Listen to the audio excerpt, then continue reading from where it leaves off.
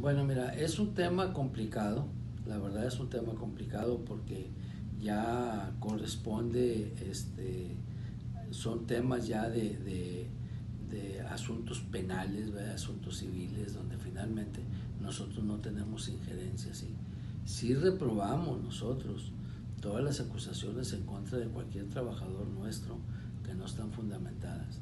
¿Qué les corresponde hacer ellos? Bueno, quienes están acusando les corresponderá presentar las evidencias correspondientes, ¿sí? Eso es en el sentido de los que están acusando, ¿sí?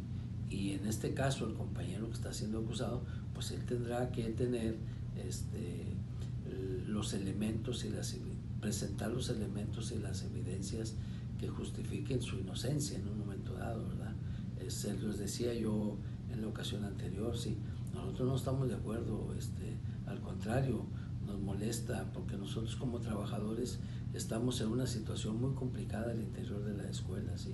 porque finalmente aquí hay algo que, que, que no debemos de pasar por alto, ¿sí? entendemos que la situación de los niños es algo mucho, muy delicado y que siempre tenemos que cuidar. Sabemos que no hay nada por encima de los niños, ¿sí? pero aquí tendrían que cuestionar a los papás, porque los niños como niños son niños. Tendría que cuestionarse a los papás y se tendría que abrir alguna situación en contra de ellos.